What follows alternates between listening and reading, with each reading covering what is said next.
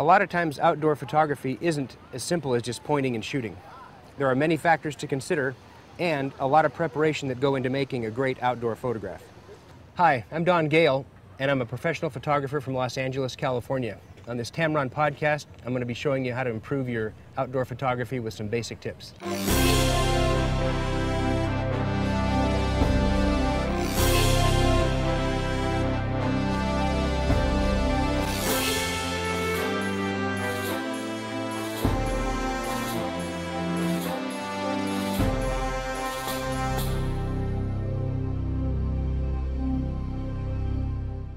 For this demonstration, we're going to be using the new Tamron 18 to 200 millimeter XR Di2 lens, and it's made specifically for the small sensor on my new Fuji S3 camera.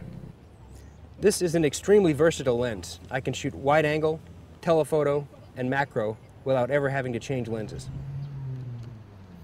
It's also very small and lightweight, and it's a great lens for travelers that can't or don't want to pack more than one lens.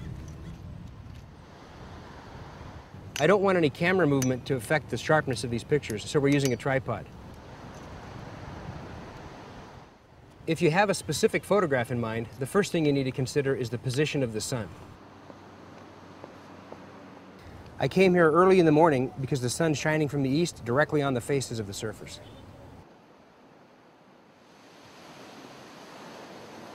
If we'd have come here later in the day when the sun was directly overhead, we wouldn't have been able to get all the detail that we can now. First, I'm going to use the telephoto end of this lens to shoot the surfers in action. And in order to freeze the motion, I'm going to shoot wide open so that I can increase the shutter speed. For the first series of pictures of the surfers, we were down on the beach shooting right straight out at them. In order to get a different perspective, we just walked up on the pier. We could walk out to where they were, so we were able to get a much closer picture, and shooting down at them gave us a nice, very unique second angle. The 18 to 200 zoom range is powerful enough to give me an 11 to 1 ratio, which is unbelievable.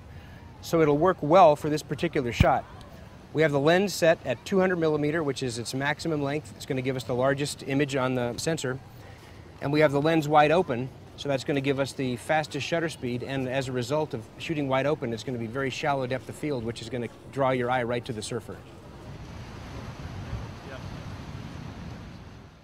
One of the unique things about this picture is we're actually underneath the pier shooting out toward the ocean and we're completely surrounded by the pilings on both sides and by zooming in to the proper focal length I was able to make sure the shot was just pilings only and the underneath side of the pier and the ocean you can see out there at the end is kind of like a light at the end of the tunnel.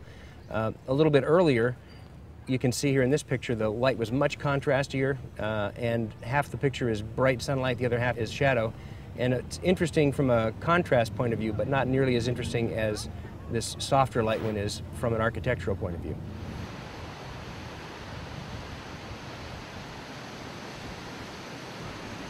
Tip the board just that way a little more. Good.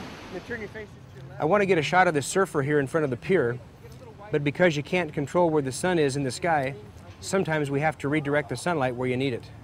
And in this case, we're going to use a silver reflector to bounce some of this light back into the shadow side of this guy's face so that it balances in brightness with the pier in the background.